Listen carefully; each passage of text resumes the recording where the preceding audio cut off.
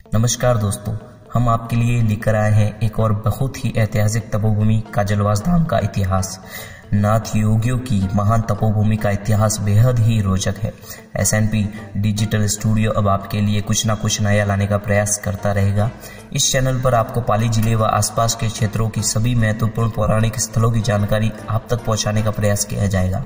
तो चलिए वीडियो को शुरू करते हैं। तो वीडियो को शुरू करने से पहले आपको बता दें कि यदि आपने हमारा चैनल सब्सक्राइब नहीं किया है तो पहले उसको सब्सक्राइब कर दीजिए और वो बेलाइकन भी प्रेस कर दीजिए।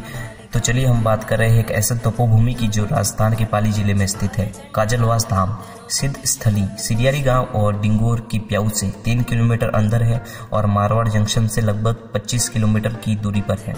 यह धाम अरावली की पहाड़ियों पर के बीच में स्थित है, जिसके दर्शन करने के लिए प्रतिवर्ष बड़ी संख्या में यहाँ श्रद्धालु भक्तगण आते हैं। यहाँ पर नौ नाथों और ग्यारह सिद्धि महासंतों की जीवित समाधि है। प्रतिवर्ष गुरु पूर्णिमा पर विशेष कार्यक्रम का आयोजन भी किया जाता है। यहाँ स्थित जो समाधि है, उनको लेकर ऐसी मान्यता है कि जो भी सच्चे मन से यहाँ फेरी लगाता है, उनकी मन की इच्छा अवश्य पूर्ण होती है।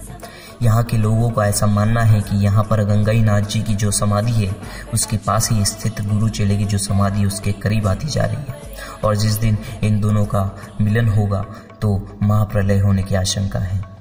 अन्ना संप्रदाय के लोगों के लिए आस्था का केंद्र भी है। कई वर्षों से यहाँ पूजा भी ना संप्रदाय के लोग ही करते आ रहे हैं।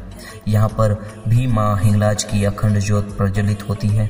भक्तिमय वातावरण के साथ में प्रकृति का अद्भुत सौंदर्य का नज़ारा और कहीं देखने को नहीं मिलता। तो चलिए दोस्तों, मैं अपने शब्दों को विराम देता हूँ और आपके लिए ऐसे ही वीडियोस ऐसे ही रोचक वीडियोस और लाते रहेंगे। धन्यवाद।